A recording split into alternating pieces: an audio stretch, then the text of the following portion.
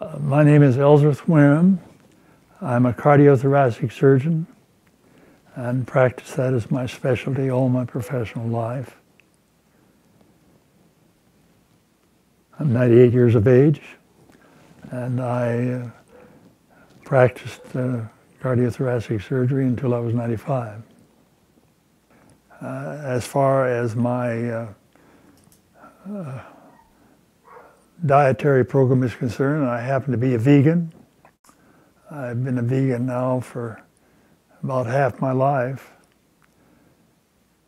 There's a sort of a general opinion that people at my age are inclined to be incompetent, and I don't want them to think that uh, they're getting poor care, so I don't mention my age very often. A lot of them in there. Well, I mow it, and I'm going to mow it uh, when I reach the century mark, too.